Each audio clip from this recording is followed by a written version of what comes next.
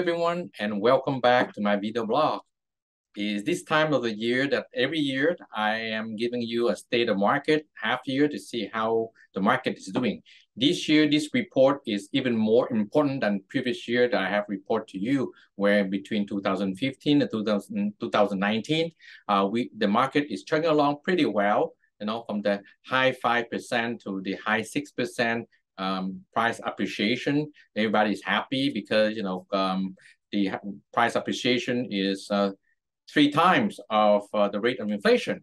But this year is totally different, right? So how the market is doing when we have high inflation, we have a threat of recession. Actually, some people is in the recession because we do have two consecutive quarter of uh, negative growth. Okay, and we are facing multiple uh, federal fund rate increase. Okay, so we have the very first one uh, in March, the second one uh, following up in May, then I have June, a three quarter percent jump, and then in July recently, uh, the 27th, we have another three quarter percent uh, jump. So how the market is doing this year is very important. I report to you and bear with me that you know there's a lot of data I want to share with you. So you can look at those numbers and forecast going forward, right? And and this will be a series of um, uh, video that I'm going to share with you how we can project uh, the market for the next six to uh, one year based on those data.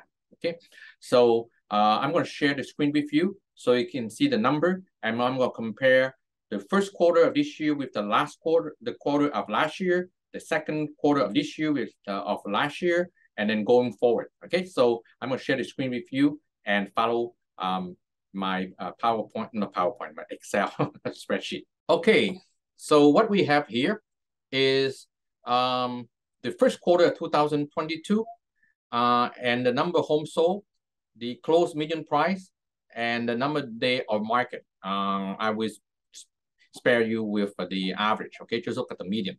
Okay. So uh, for the first quarter of 2022 this year, we have 4,149 homes sold. And then compared to the first quarter of 2021, we have 4,530 homes sold. And that make a decrease of 8.4% of the number of homes sold. However, you know, it's the number of homes sold that has been decreased, just like the press and the media have reported. However, the price, look at the price, okay? The first quarter of last year, we have a median price of 650,000. And this year we have the median price of 775,000, a increase of 19.23%. Uh, just as a coincidence, we also have a 19.23% decrease of the number day on market. The number day on market is defined as uh, the, the day that the property, the listing is active on the multiple listing and the day that the um, listing is under contract, is escrow, as we say, okay? So um, you just be a coincidence here.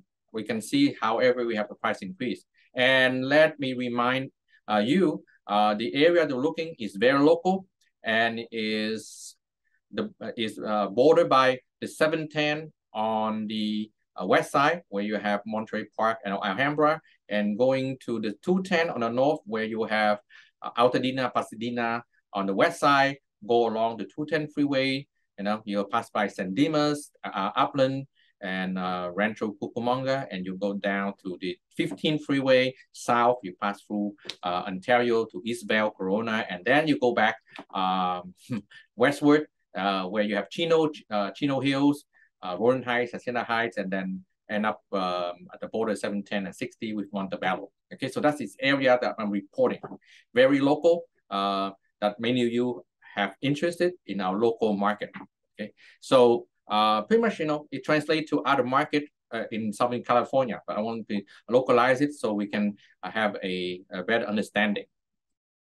So going to the second quarter of 2022, you can see uh, we have 3,022 homes sold versus 5,523 homes sold in the second quarter of 2021. A big drop of 45%, okay? A big drop uh, because, you know, the interest rate have jumped up uh, starting the second quarter, right? However, we can see the price has still increased by 13.8%. Uh, from a 716,000 million price in 2021 to 815,000 dollars in the second quarter of this year. And also the number of data market also have decreased by almost 16% uh, from a 19 days on, uh, on the market on average to a 16 days on the market on average for this year. So now, in as I say, March we have a rate increase, May rate increase, but it's minor, uh, uh, minor, quarter quarter percent. Okay, uh, it's just like a baby step. At, Um, I think how the market react when we have a half a percent increase uh, uh, in May. Uh, in May, we have three quarter percent increase in June, and we have a three quarter percent at the end of July. Okay, so let's look at the June of this year compared to last year. So this year in June, we have 1,570 homes sold uh, compared to 1,933 homes sold in June of last year. So a decrease again of 18% um, year over year, right? Uh, the housing price still have a little bit jump, okay, from $730,000 to $820,000. Not a big jump, but we still uh, look at uh, a 12% you know, uh, price appreciation between last, last June and the June of 2021. And see how July we look at when we have, um, you know, everything setting with a, a higher uh, federal fund rate, okay? And in July of this year, we have 1,317 homes. And then July of last year, 1,933 homes, and a big drop of almost 32%. I think you have heard from the media, from the news, we have big drop. That's um the market we're looking at. However, the price is still staying pretty stable. Okay, 730 for last year, 820, 820, no change. I think you know you can see the trend. I would like you to interpret yourself. Okay, and then uh, we still have the same um, number of a day on the market, 17 and 17. So now um, I want to bring you to something is how many home, those homes that sold, they have been listed uh, two months, three months before the report, right? You know that now after listing, take two weeks to sell, 30 to 45 days to close. So that's a, uh, a delay of 60 days. So now I want uh, uh, to show you right here, uh, those are number of listing new listing on the market uh, between July 1st and August 15.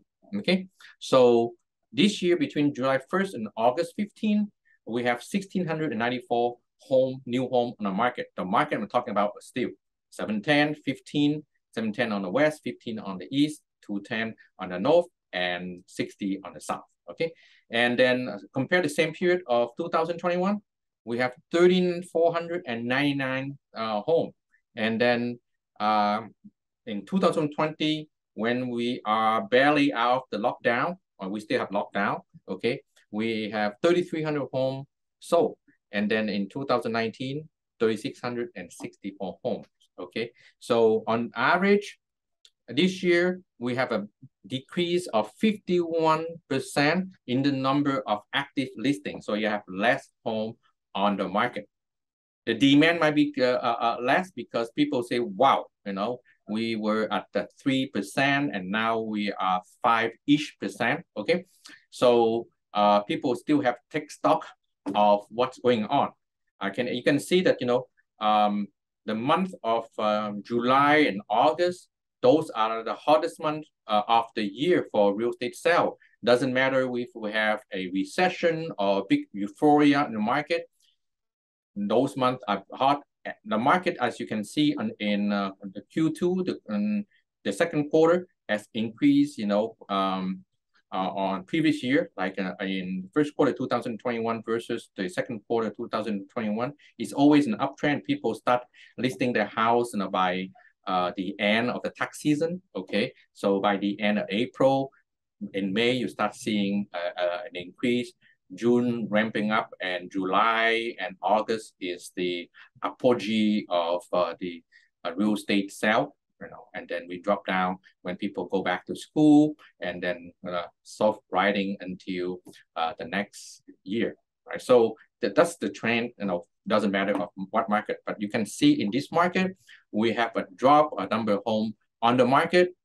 We have a drop of people um, buying However, you are still have people on the market. I can tell you, we have still escrow open and we're still home uh, sold.